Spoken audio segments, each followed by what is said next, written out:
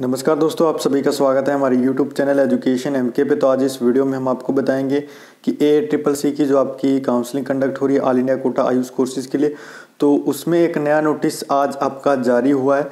तो इसमें आपको बहुत सारे स्टूडेंट्स के भी, हमारे पास भी कमेंट्स आ रहे थे और ए ट्रिपल सी के पास भी क्वेरीज आ रही थी कि वो उन्हें जो फ़र्स्ट राउंड में सीट अलॉट हुई है, उसे कैसे वो छोड़ सकते हैं। तो इसका प्रोसीजर उन्होंने इस नोटिस में जारी कर दिया। तो आपको डिटेल में बताते हैं कैसे आप अपनी जो फ़र्स्ट राउंड में जिन स्टूडेंट्स को सीट अलॉट हुई है लेकिन वो उस पर एडमिशन नहीं लेना चाहते तो वो किस, कैसे, किस प्रकार से, किस प्रोसेस से उस सीट को छोड़ सकते हैं। तो चलिए दोस्तों वीडियो स्टार्ट करते हैं। और अगर आप चैनल पर नए हैं, चैनल को ज़रूर सब्सक्राइब कीजिएगा बेल आइकन प्रेस कीजिएगा। आगे भी इसी प्रकार के सारे लेटेस्ट अपडेट सबसे पहले प्राप्त करने के लिए।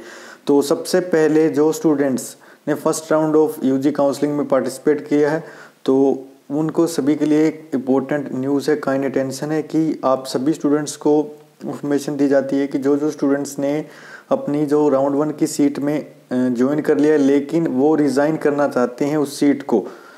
तो आप सेकंड राउंड के कमिटमेंट से पहले पहले आप उसे रिज़ाइन कर सकते हैं। तो रिज़ाइन करने का जो टाइम है, वो आपका आज से 14 फरवरी से लेके 24 फरवरी को शाम को चार बजे तक आप अपना रिज़ाइन कर सकते हैं। अगर आप उस सीट को नहीं लेना चाहते हैं तो आप जो जो स्टूडेंट्स फ़र्स्ट राउंड काउंसलिंग में अपनी जो सीट छोड़ना चाहते हैं, उन्हें ये इन्फॉर्मेशन जाती इन्फॉर्मेशन दी जाती है कि उन्हें रेजिग्नेशन लेटर है, वो जनरेट करना होगा। ए ट्रिपल सी के पोर्टल से ही वो जनरेट होगा। जिस भी कॉलेज में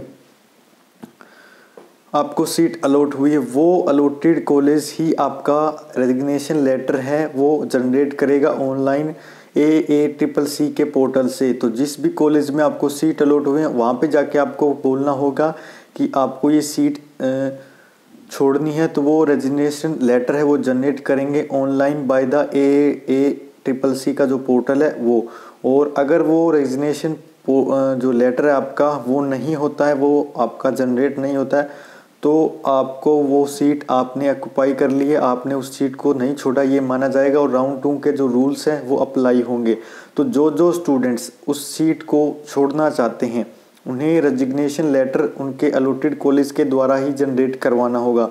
तो जो जो स्टूडेंट्स अपनी सीट छोड़ना चाहते हैं, वो अपने जो भी अलोटेड कॉलेज हैं, उन्हें कॉन्टेक्ट करेंगे और उनको बोलेंगे कि रेजिग्नेशन लेटर है, वो जनरेट कर ले फ्रॉम ए ए ट्रिपल सी के पोर्टल से। तो ये आपको जनरेट करना होगा, तभी आपका मान्य होगा और 24 फरवरी तक जो स्टूडेंट्स हैं, वो इसके लिए रेजिग्नेशन लेटर जनरेट करवा सकते हैं अपने अलोटेड कॉलेज से। तो ये इंपॉर्टेंट इन्फॉर्मेशन थी आप सभी कैंडिडेट्स के लिए जो ए ट्रिपल सी की काउंसलिंग में पार्टिसिपेट कर रही हैं।